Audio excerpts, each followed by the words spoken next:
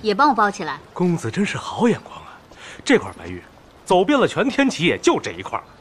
小五，哎，把这个也给公子用锦盒包起来。好嘞。嗯，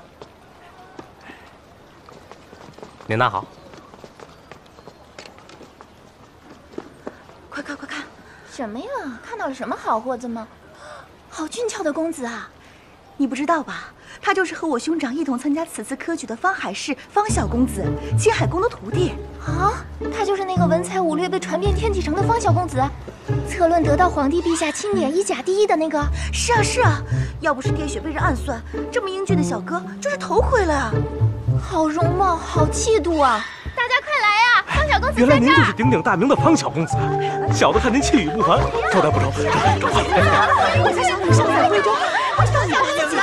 啊，方小公子！哎哎哎！你们别碰了我的玉器！方小公子，哎哎哎！方小公子，方小公子，你的玉佩还要不要啊，方小公子？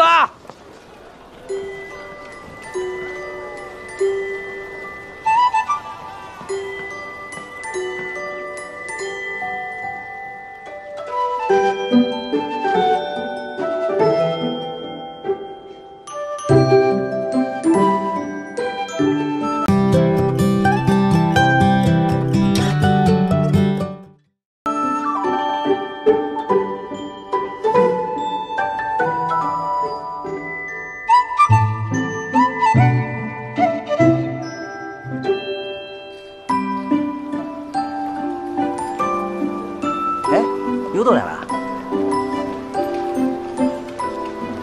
他穿咱们衣裳倒是挺好看的，就是可惜了。可惜什么？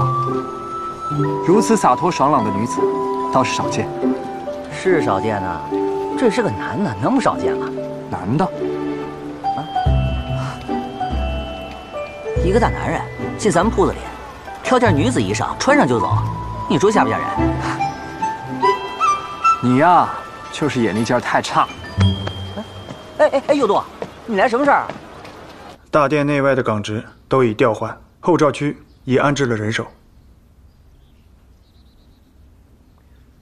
卓英，等会儿带海石入殿。是。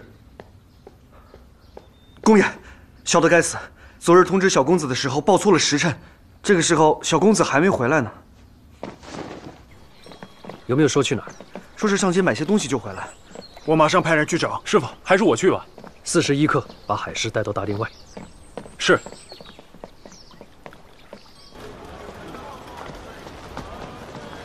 海市。嗯。嗯，这你也能找到我，真应了你那句红话了。我刚才差点被人活剥了，正好你帮我打个掩护，我回馆里。哎，来不及了，四十一刻之前，他们叫你到大殿候旨念军，他们传错时辰了。传错时辰了？哎，好。